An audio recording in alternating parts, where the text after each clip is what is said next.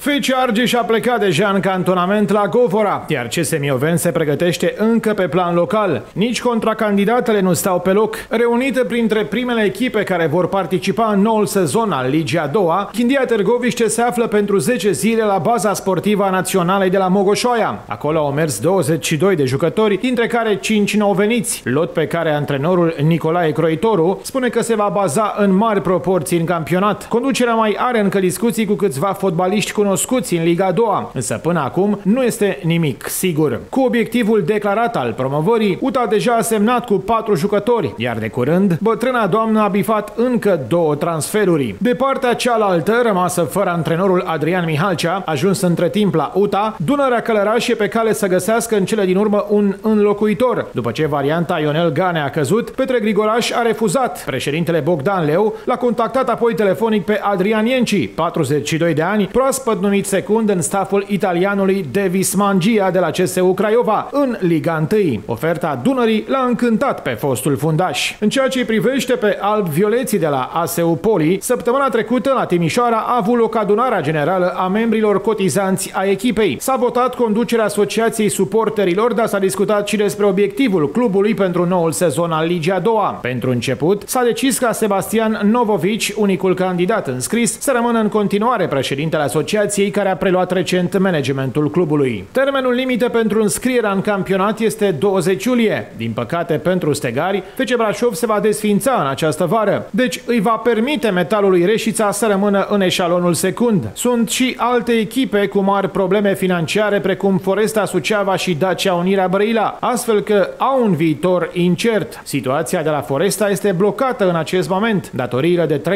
300.000 de lei de la finanțe, ajungând acum la aproximativ 4 450.000 de lei, iar fără sprijinul unui investitor privat, echipa suceveană are șanse mici să continue și în noua stagiune.